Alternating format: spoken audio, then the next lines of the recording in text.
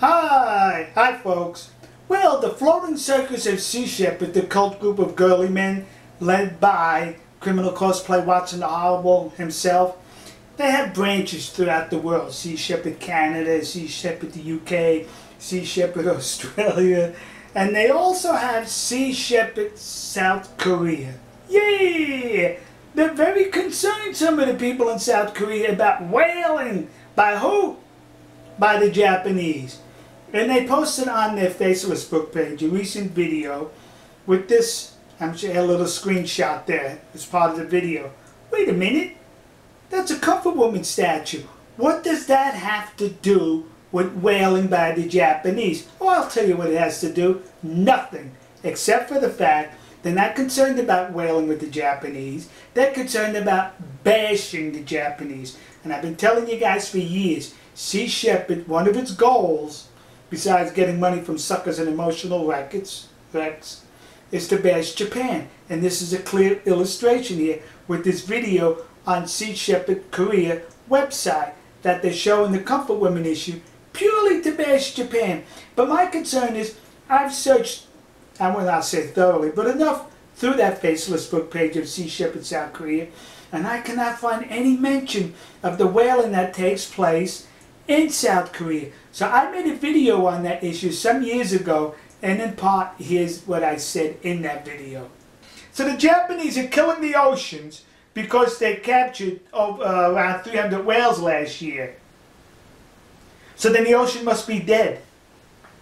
I say that because in South Korea last year, they caught whales also. And here's how they catch the whales. Fishermen goes out in their boats, drop the wet nets, they pick up the net.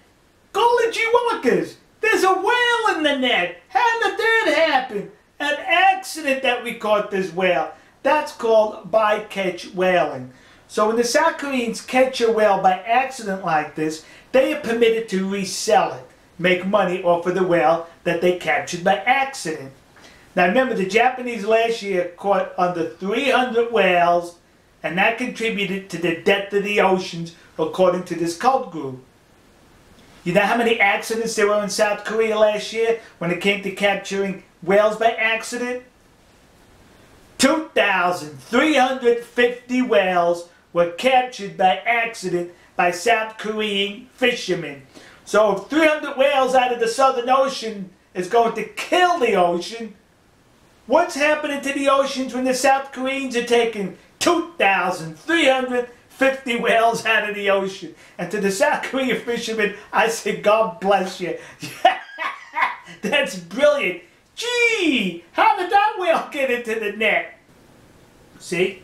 Well, to me, if you're concerned about whaling, instead of bashing the Japanese, you would be bashing your own country first, who harvests more whales than the Japanese. But no, because Sea Shepherd is not about saving whales or dolphins.